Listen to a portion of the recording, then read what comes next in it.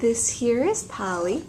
Polly is a red tabby. She is a domestic short hair. She's been here at the Maryland Heights Humane Society for about a month. She was brought in by her former owners, but I'm not sure quite why. Um, she's a really nice cat. Our volunteers have noted that she is very nice. She's friendly. She's sweet. You can see she's affectionate. She likes to be petted. Uh, she's also very playful. She started crying her head off when, when I brought the toys out, so she wanted to play. Uh, she's also declawed, so if you're looking for a declawed cat, she uh, she's declawed in all four of her paws, though, so that's definitely something to consider. Um, she ne needs to be an indoor cat since she has no means of protection.